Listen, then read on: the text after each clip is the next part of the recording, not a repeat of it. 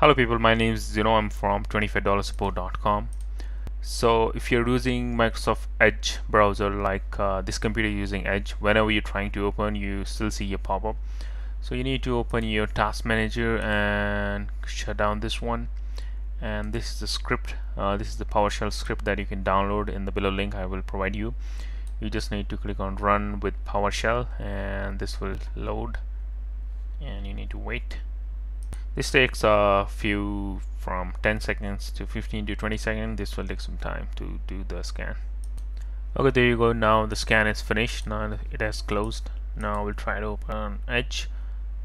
Remember that this will remove all your data. This is going to like reset from the beginning. It, it, it has nothing now.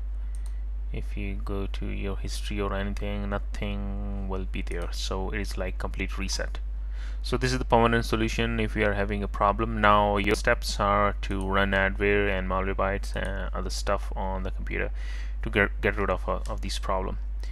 So if you have any issues with your edge you have any questions just tell me. I will be very happy to help you in that